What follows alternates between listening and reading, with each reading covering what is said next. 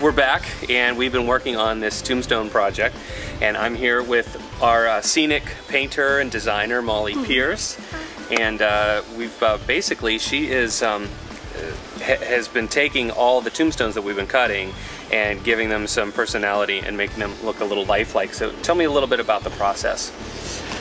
Wow. Um, we took some foam, you did, and cut them into sizes and then we cut them into different shapes and we've been doing a um, base coat um, that has some varied colors in it and seals it and gives it some variation and then now we're just cutting some different um, designs in it. So this is a wood burning tool and I am burning in a border on our faux headstones.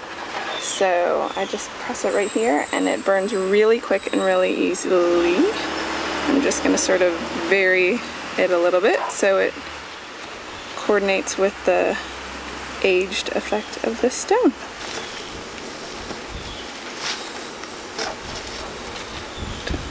And so that's the little border. It burns in really easily and the paint sort of pushes into the groove so we won't need to do too much touch up there but works really well.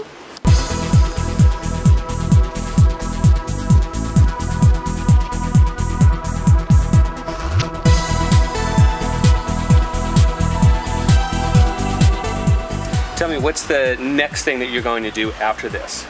Um, after we do all the carving that we want to do, then we're going to go in with some spray bottles, some different glazes and colorants, and just um, make them look old and do some good old fashioned faux. I'm actually surprised by how good they look. With uh, just this amount. Yeah, just, I mean, effort. we've just really started, right? Yes, yeah, this morning they were white and then, yeah, we just did a little bit and they really pop out.